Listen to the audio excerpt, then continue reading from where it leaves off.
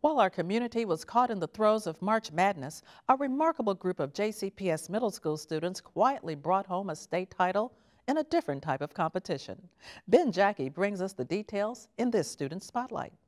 Well, there was no big parade or major celebration here at Meyzeek, despite the fact this is the Math Counts team's fourth straight state title. Because for them, it's not about an award, it's about the experience.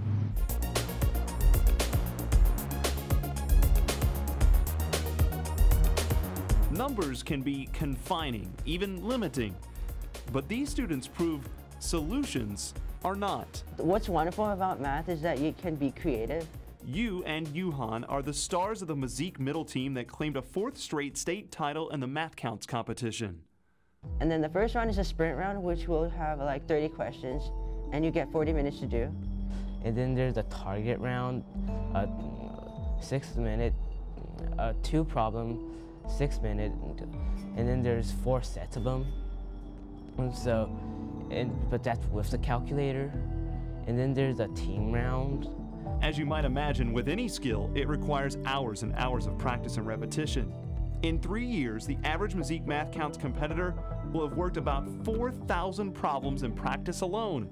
But for Yuhan, even that is not enough. But he's like a sponge. He's continuously asked for additional materials. He wanted to study all the old tests. There's like 25 years of tests, some 100 and some tests. He's went through all that. He always wants extra textbooks, uh, extra material. Their drive isn't to fill a trophy case. It's about looking for creative ways to solve what has already been solved.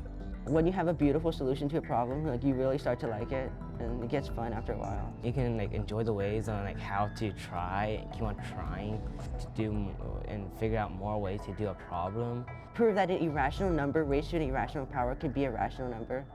And then the reason I like that proof is because like it's so creative. So like assume like square root of 2 to the square root of 2, like you don't know whether it's rational or irrational.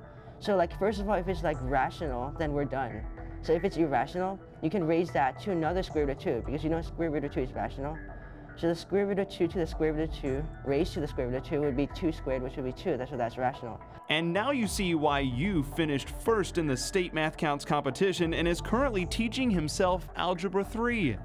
Yuhan finished fourth and hopes to one day create a theorem that will in his mind give him mathematic immortality. Because trophies are sedentary, great minds are not.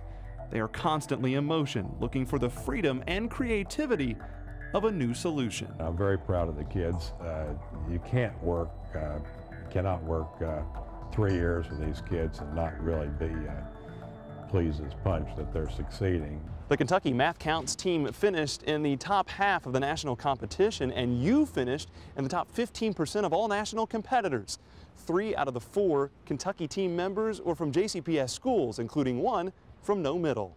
For Our Kids, I'm Ben Jackey.